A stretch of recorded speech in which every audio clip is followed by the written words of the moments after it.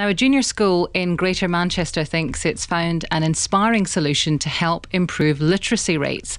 Boys lag behind girls in reading at Heathfield Primary in Bolton, but they're now helping close the gap by getting children to write blogs. And they found that the quality of the children's writing has improved dramatically. Our Northwest of England reporter Judy Hobson is at the school. Judy? Yes, as you say, an age old problem that boys tend to lag behind girls in literacy.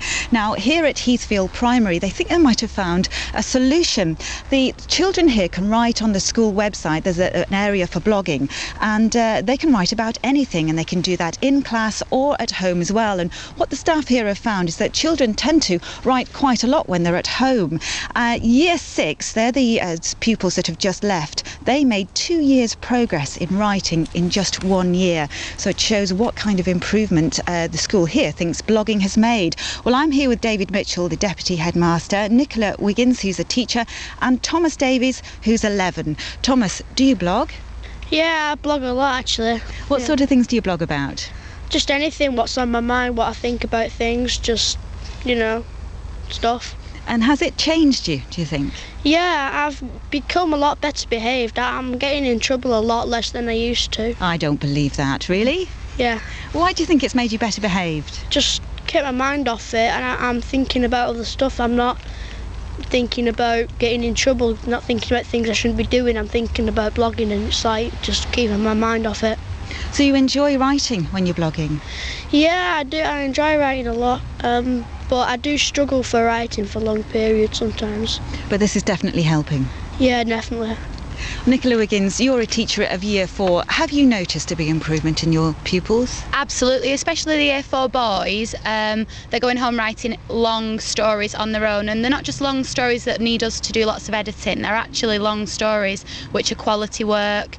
And also the children who maybe find learning a bit more difficult, they're going home writing thoughts. Um, they, they're involving in maths problems, so it's the, the stratosphere is wider than just the writing. It's them as learners becoming more confident to participate in something as well.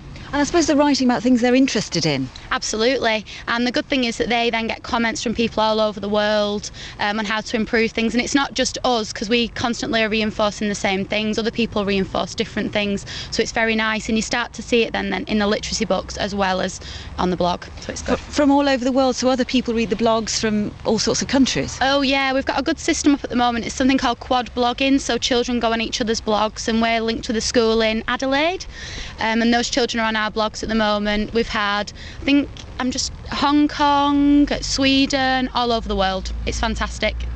David Mitchell, this all began really, didn't it? Not last winter, but the winter before when the children couldn't get into school because of the snow.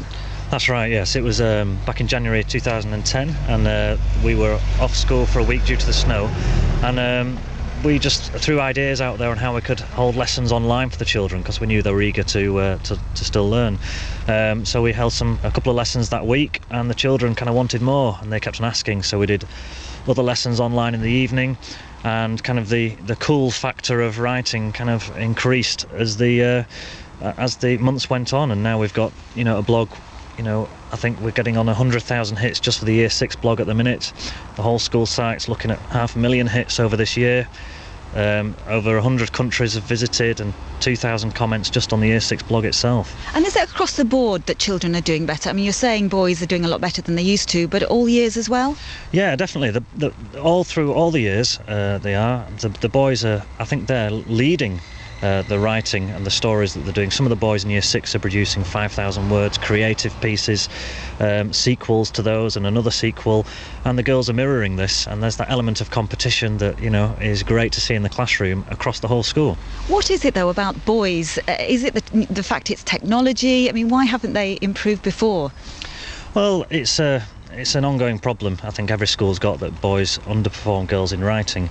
Um, they they are they're cap- they're very capable, and I think once you throw in a real audience and the how instant blogging is, that as soon as a teacher's approved a post, when the child goes to bed, they understand that half the world is still awake. And by the time they wake up in the morning, they've got 30, 40 um, comments waiting for them, and it's it's instant and uh, it's real. Well, thank you very much to you all for talking to us today. And I know you can uh, log on to the school website and read the blog. So, Thomas, I shall be reading yours. Okay, thanks. Thank you. Judy, thank you very much. That's our Northwest of England reporter, Judy Hobson.